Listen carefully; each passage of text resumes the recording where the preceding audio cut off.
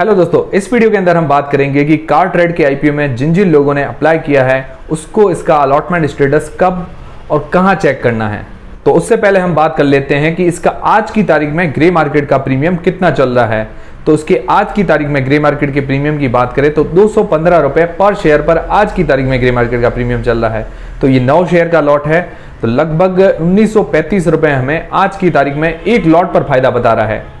जिस तरह की कार ट्रेड कंपनी है और इसको सब्सक्रिप्शन मिला है, उस हिसाब से इसका ग्रे मार्केट का प्रीमियम बहुत ही ज़्यादा कम है। अब बात करें इसका अलॉटमेंट स्टेटस हमें कब पता चलेगा? तो इसका अलॉटमेंट स्टेटस हमें 17 अगस्त को पता चलेगा। और अगर हमारे आईपीओ अलॉट नहीं होता तो पैसे हमारे रिफंड होंगे 18 अगस्त को। और अगर हमारे आईपीओ अलॉट हो जाता है तो शेयर हमारे जो डीमेट अकाउंट के अंदर क्रेडिट होंगे 20 अगस्त को। और इस आईपीओ की लिस्टिंग डेट है 23 अगस्त को। मतलब ये शेयर मार्केट के अंदर 23 अगस्त को लिस्ट हो जाएगा। अब बात करें इसका अलॉटमेंट स्टेटस हमें कहाँ चेक करना है तो इसका अलॉटमेंट स्टेटस हमें लिंक इन टाइम की वेबसाइट पर चेक करना है। तो 17 अगस्त को इसकी अलॉटमेंट की डेट है। जैसे इसका अलॉटमेंट स्टेटस आएगा 17 अगस्त को, मैं तुरंत ही वीडियो डाल दूँगा।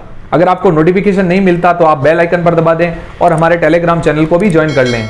तो जिस दिन अलॉटमेंट आता है तो हमें क्या करना है कि लिंक इन टाइम की वेबसाइट खोलनी है। उसके बाद तीन तरह के ऑप्शन आते हैं। PAN card number DP client ID और एप्लीकेशन नंबर सबसे इजी है, पैन कार्ड नंबर डालकर हम सर्च करते हैं तो हमें अपना अलॉटमेंट स्टेटस दिखा देगा। तो दोस्तों, जैसे ही इसका अलॉटमेंट स्टेटस आता है तो मैं तुरंत ही वीडियो डाल दूँगा। अगर हमारा वीडियो आपको पसंद आए तो वीडियो को लाइक ज़रूर करें और दोस्तों चैनल को सब्सक्राइब कर लें। मिलते हैं दोस्तों नेक्स्ट वीडियो के अंदर।